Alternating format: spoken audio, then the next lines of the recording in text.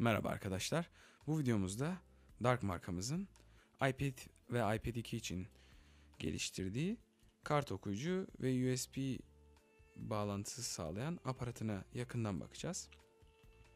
Ürünün kutusu gördüğünüz gibi oldukça sade, tıpkı Apple ürünleri gibi Dark USB, iPad ve iPad 2 bağlantı kiti yazıyor. Ürünü doğrudan görebiliyoruz. Burada kart okuyucu kısmı ve USB portu var. Kutunun arka tarafına geldiğimizde bir diyagram var. USB portundan klavye bağlayabildiğimiz, fotoğraf makinemizi bağlayabildiğimiz veya da hafıza kartını doğrudan kart okuyucuya bağladığımız gözüküyor. O 30 pin Apple bağlantısı üzerinden de iPad veya da iPad 2'mize bağladığımızı görüyoruz. Şimdi cihazı açalım, yakından bakalım. Uygulama sırasında nasıl çalıştığını görelim. Apple ürünlerinin en önemli özelliği bildiğiniz gibi sade olması. Dark e, markamızın iPad ve iPad 2 aksesuarı da yine Apple'ın sadeliğiyle gördüğünüz gibi uyan bir tasarıma sahip. Oldukça ince. Hafıza kartına göre kıyaslayacak olursak örneğin burada bir SD kartımız var. SD kartımızı taktığımızda ne kadar ince olduğunu görebiliyorsunuz. Bu kart okuyucuyu ağırlıklı olarak cebimizde taşıyacağımızı düşünürseniz 30 pin Apple bağlantısının bozulmaması için bir e, şeffaf koruyucu var. Bu koruyucuyu taktığınız takdirde cebinizde taşırken, çantanızda taşırken Apple bağlantısının zarar görmesini engelleyebilirsiniz. Şimdi cihaza bağlayalım ve nasıl çalıştığına bakalım.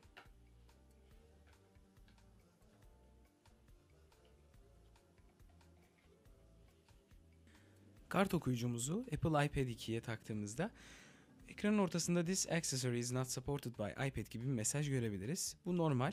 Apple kendi üretmediği ürünlere böyle bir mesajla uyarı veriyor ama bu ürünün çalışmadığı anlamına gelmiyor. OK'ye tıklayıp geçtiğimizde cihazın bağlandığını görüyoruz ve cihazın bağlandıktan sonra içindeki fotoğrafları okuduğunu görebilirsiniz.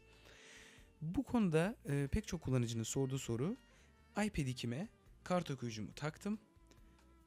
Kartımı bağladım. İçindekilere ulaşamıyorum. Burada önemli olan e, kartınızın formatının FAT veyahut da iPad'in gördüğü başka bir formatla formatlanmış olması. Ayrıca kameraların oluşturmuş olduğu DCIM klasörü yani standart bir video kamera veya fotoğraf makinesinin fotoğraf çekerken oluşturduğu klasörlere sahip olması gerekiyor. Bu yapıya sahip olduğunda iPad görebiliyor. Çünkü iPad e, aslında kart okuyucu bağlandığında standart olarak içindeki fotoğraf ve videoları görmek için tasarlanmış. Buradan hafıza kartımızdan iPad'imizin içine aktaracağımız dosyaları seçiyoruz ve import'u tuşluyoruz. Import selected dedikten sonra dosyalarımız şu anda taşınıyor. Şimdi fotoğraflarımıza yakından bakalım. Mary'den tıkladığımızda gördüğünüz gibi daha evvelden hafıza kartından iPad'imize transfer ettiğimiz kart okuyucumuz ve iPad 2'mizin beraber fotoğrafı var. Burada başka bir fotoğraf var montajlı. Bu fotoğraflara iPad'in klasik fotoğraf geçiş efektleriyle zoom yapıp daha yakından bakabiliriz. Dark iPad iPad 2 kart okuyucu yanında bulunan USB bağlantısı sayesinde fotoğraf makinelerini desteklediği gibi aynı zamanda klavyeleri de destekliyor. Buradan gördüğünüz gibi not programını açtığımızda klavyemizde istediklerimizi yazabiliyoruz. Biz karışık tuşluyoruz. Klavyemizi şöyle hızlı bir şekilde tuşlayalım. Evet gördüğünüz gibi istediğimiz kadar notumuzu alabiliyoruz, silebiliyoruz. Yani standart bir klavye bağladığımızda bir bilgisayarda nasıl çalışıyorsak iPad'de de bize o konforu sunuyor. Videomuzun sonuna geldiğimizde kullanım senaryolarını tekrar hatırlatmak için gözden geçirelim. iPad, iPad 2, e, kart okuyucu ve USB port aparatında yapabileceklerimiz klavyemizi USB portundan bağlamak, fotoğraf makinesi ve video kameramızı USB portu üzerinden kablo ile bağlamak ya da video kamera ve fotoğraf makinemizdeki çektiklerimizi kart okuyucuya SD kartımızı doğrudan takarak aktarma imkanı sağlıyor bize.